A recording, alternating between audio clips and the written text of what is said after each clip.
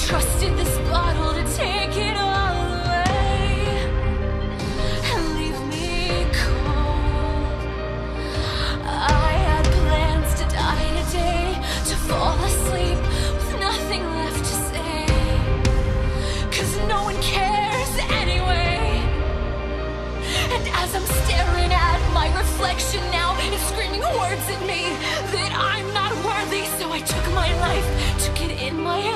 I decided I'm